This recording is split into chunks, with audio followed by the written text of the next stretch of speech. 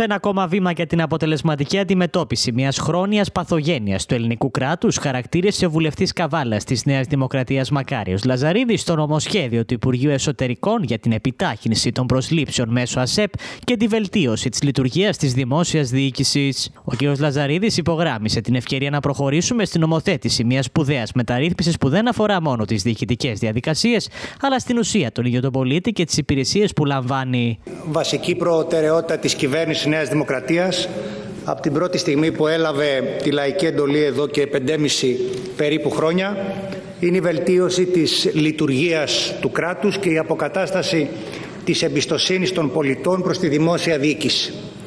Το μεγάλο αυτό στίχημα για έναν σύγχρονο και αποτελεσματικό δημόσιο τομέα κατά κοινή ομολογία έχει αρχίσει να κερδίζεται με τις σημαντικές πρωτοβουλίες που ήδη εφαρμόζονται στην πράξη όπως για παράδειγμα η ψηφιοποίηση του κράτους.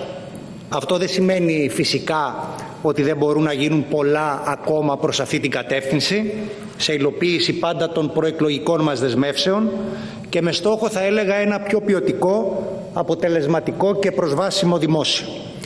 Κομβικός σταθμός σε αυτή την προσπάθεια είναι το νομοσχέδιο που συζητάμε σήμερα και αποτελεί ένα ακόμα βήμα για την αποτελεσματική αντιμετώπιση μιας χρόνιας παθογένειας του ελληνικού κράτους.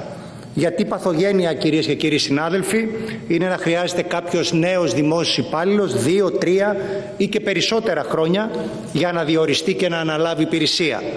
Παθογένεια είναι κρίσιμη τομή του δημόσιου τομέα να χρειάζονται προσωπικό, αυτό να έχει εγκριθεί, να έχουν εξασφαλιστεί οι πόροι και για γραφειοκρατικούς λόγους να καθυστερούν οι τοποθετήσεις στις συγκεκριμένες θέσεις. Παράλληλα έκανε λόγο για διπλή πρόκληση με αφορμή το νομοσχέδιο από τη μια να επιταχύνουν τις διαδικασίες προσλήψεων για να καλυφθούν οι κενές θέσεις στο δημόσιο, αλλά και από την άλλη να βελτιώσουμε τη λειτουργία του. Η πρόκληση που έχουμε μπροστά μας είναι διπλή από τη μία να επιταχύνουμε τις διαδικασίες προσλήψεων για να καλυφθούν οι κενές θέσεις στο δημόσιο και έτσι να βελτιώσουμε τη λειτουργία του. Στόχος μας είναι ο χρόνος από τη διενέργεια του διαγωνισμού μέχρι την έκδοση των οριστικών αποτελεσμάτων και την ανάληψη των θέσεων από τους επιτυχόντες να μειωθεί περίπου στους έξι μήνες. Όλα αυτά φυσικά κυρία Υφυπουργέ θα κρυθούν στο πεδίο.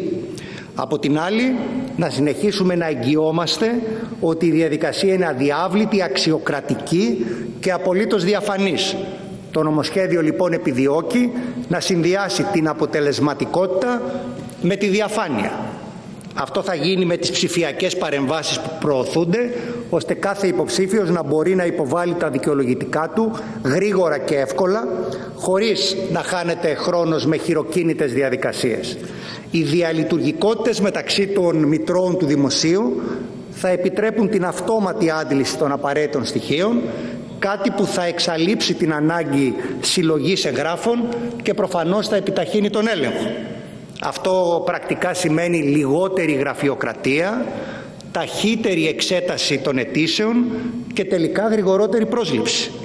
Πρακτική επιδίωξή μας με μία φράση είναι όλα να γίνονται πιο σύντομα αλλά και με απόλυτη διαφάνεια.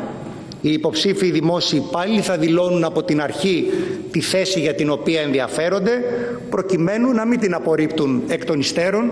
Τα απαραίτητα δικαιολογητικά θα ελέγχονται ψηφιακά μέσω εσωτερικών διασταυρώσεων και με την υποστήριξη του Συναρμόδιου Υπουργείου Ψηφιακής Διακυβέρνησης και βέβαια ο κάθε ενδιαφερόμενος θα μπορεί να καταθέσει τα δικαιολογητικά του και να περνά τα σχετικά τεστ ανεξάρτητα από το αν εκείνο το διάστημα τρέχει κάποιος σχετικός διαγωνισμός.